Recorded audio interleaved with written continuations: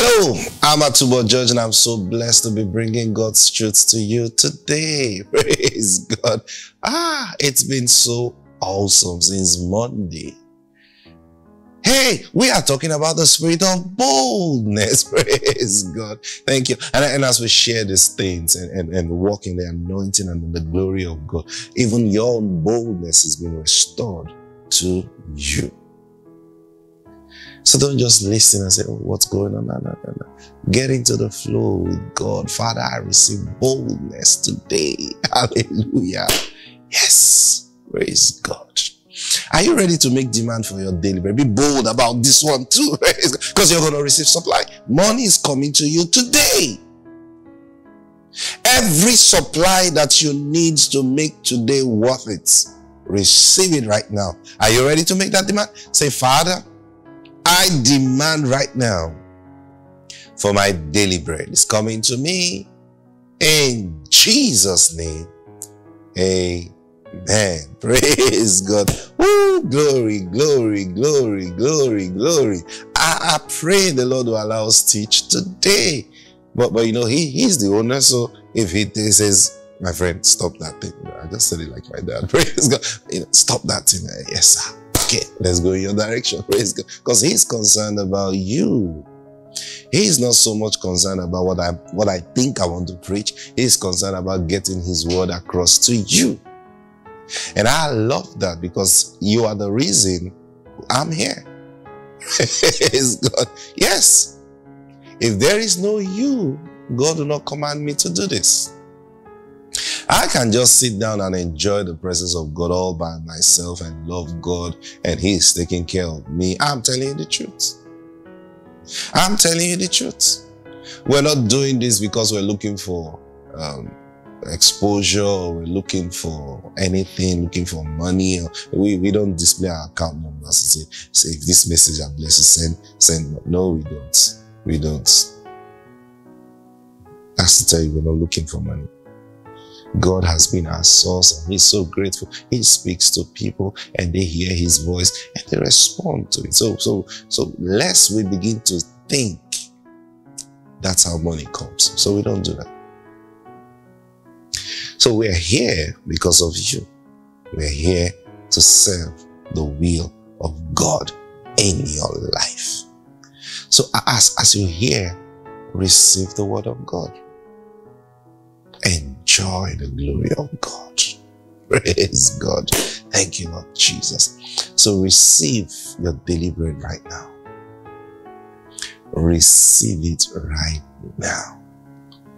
Everything you really need to make today worth it. Receive it. The grace you need. Hey, he says he's able to make all grace abound towards you. So what grace do you need? He said he has the ability to make all. If you need grace in your finances, he's got it. If you need grace in your health, he's got it. If you need whatever, that's why you shouldn't give up.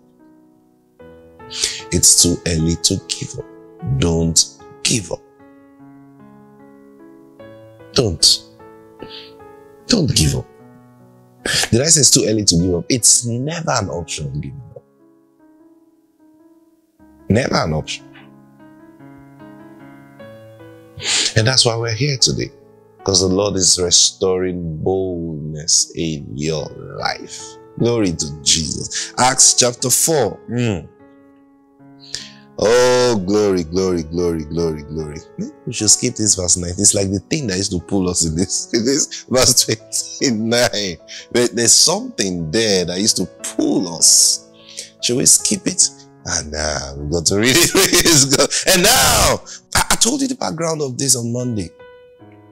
These disciples were just being threatened not to speak the word of God again, not to teach the word of God again. They were commanded, don't go, go, don't teach, don't preach in that name again.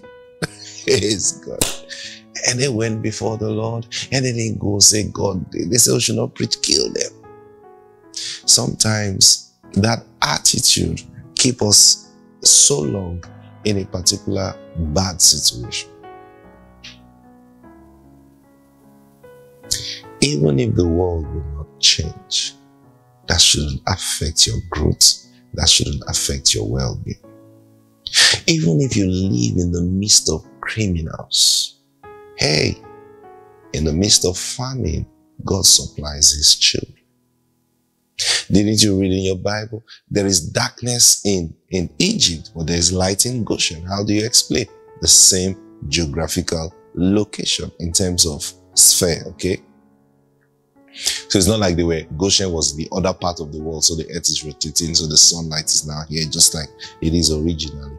Like when we have day, when we have day in, in Africa, uh, some other parts of the world is night for them.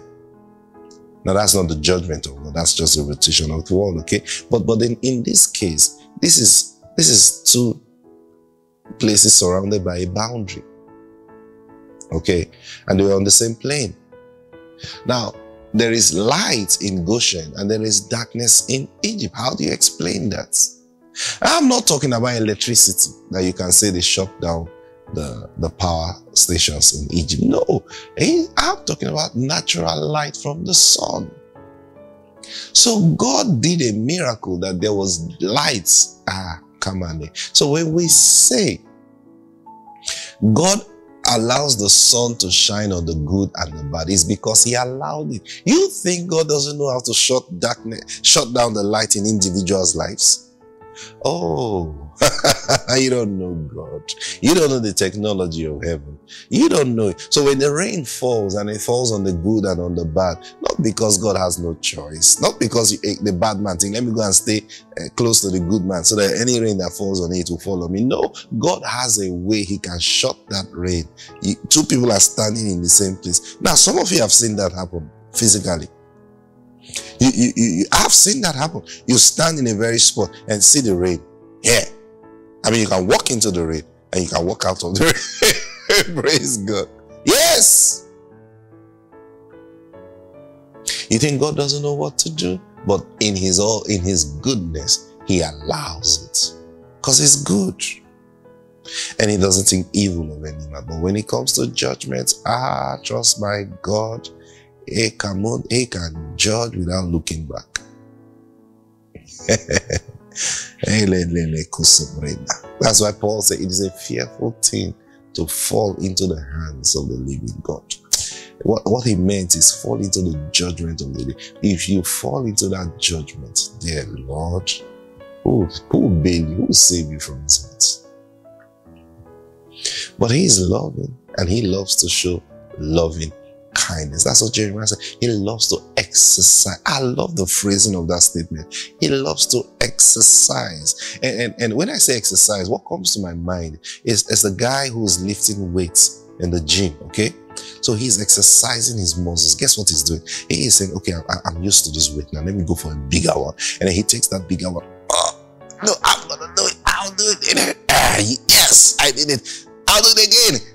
Ah, yes. That was it. He's exercising his muscles. So when, when I when I when I read the, the words of Jeremiah, God spoke to him. And that's the picture I see.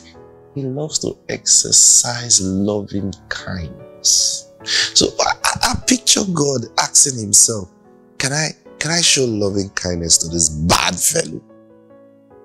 And, and, everybody's looking looking at that fella like this guy, this guy must die. This guy is supposed, he's not supposed to live. And God is like, okay, this is a project now. Can I can I exercise loving kindness? I'm like, okay, let me see.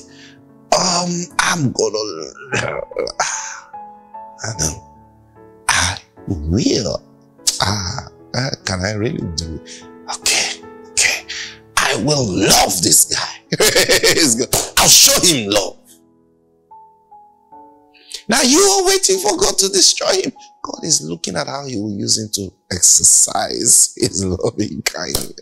That's why you must not base your mind on the destruction of people to make progress. You might just be wasting your time for, because your father is looking for who you used to exercise next. It's God, yeah. Grow beyond your enemies. There is space. The space is big enough. Your father can even open more space. Okay? So, so don't, don't, don't tie your, your progress on, on someone's life. If someone doesn't want to help you, thank God for them. Turn in another direction. You will find help. You will find help.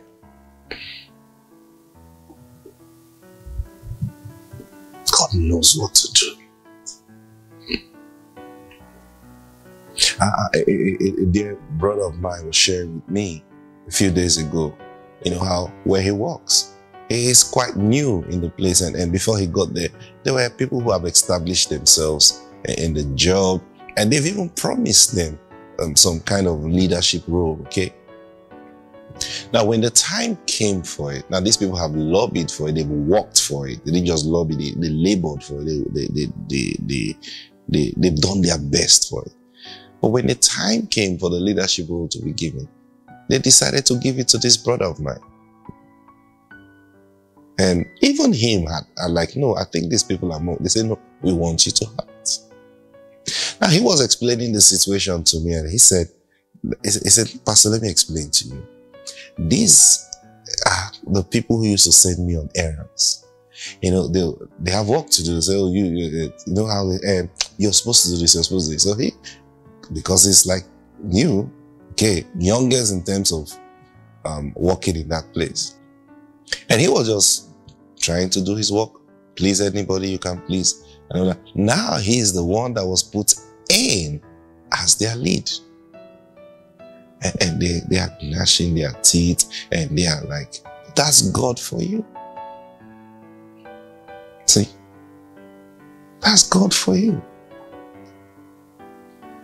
Now it's not like he went to manipulate anything. No, he was just, even when they talked about it, said, no, I, I, think these people are better qualified for Because naturally he was thinking, eh, how do I go about this? But I said, no, you can do it and we'll give it to you. God can create space. You don't need to fight with anyone to gain space.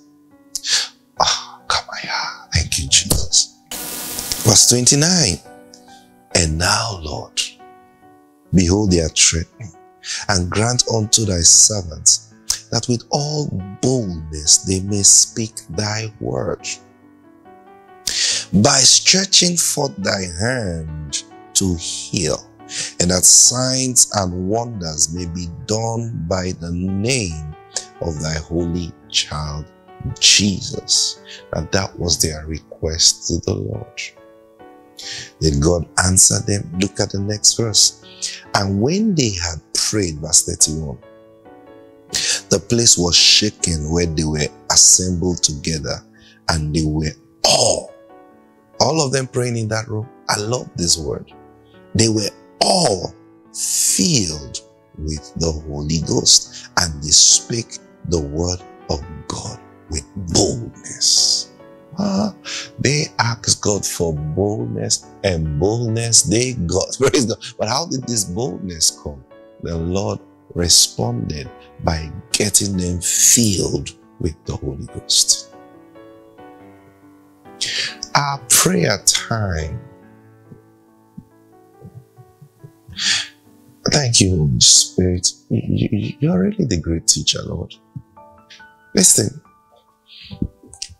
if our prayer time will be marked or will be will become more conscious of presenting ourselves for the infilling of the Holy Ghost. Now, these men already had the Holy Spirit. They were the same ones in Acts chapter 2 that got filled with the Holy Ghost. Now you see again here that they prayed and God filled them with the Holy Ghost.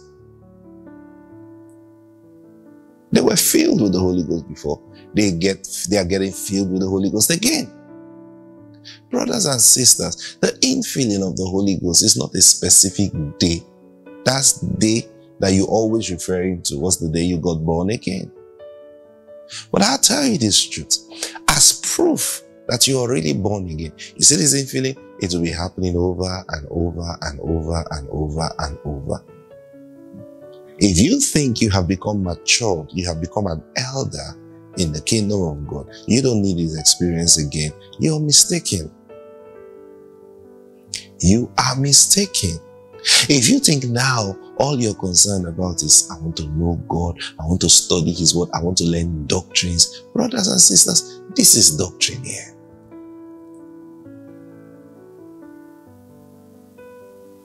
Whenever you are challenged in life, guess what that challenge is trying to do to you? Reduce your boldness. Stop you from acting the way you're supposed to act. But what is God saying to you? If you present, this is what prayer time is all about. Oh, dear Holy Spirit, fill me afresh fill me afresh. Now you, you have this, these issues that you're praying about, okay? Whatever it is. Maybe at work, in ministry, whatever it is. You're dealing with a situation, your health, relationship, anything that is making you lose your voice is attacking your boldness. When you realize you can no longer speak freely, with people. When you realize you can't be yourself anymore, it's attacking your boldness. And the way God restores that is by getting you filled again with the Spirit of God. And when that happens, you are restored to the place of boldness. That's what it says here. It says, and they spake the word of God with boldness. Glory to God. How often we leave the things we used to believe in before and demonstrate. And we think, you know, you know, ah, we are matured now. We are no. Now, now I, I understand doing things immaturely. You understand what I'm saying? Because even in ministry, sometimes we, because the, the anointing is so strong, and all you want to do is to see everybody on the floor. And so you, ah, the anointing is coming. Really receive. And you, you, you see people falling down, you're so excited. I love this, I love this, I love this. Now, you see, the end of that thing is to make sure that they receive the word of God. So if you do all that and then you don't give them the word, you've just wasted the glory of God.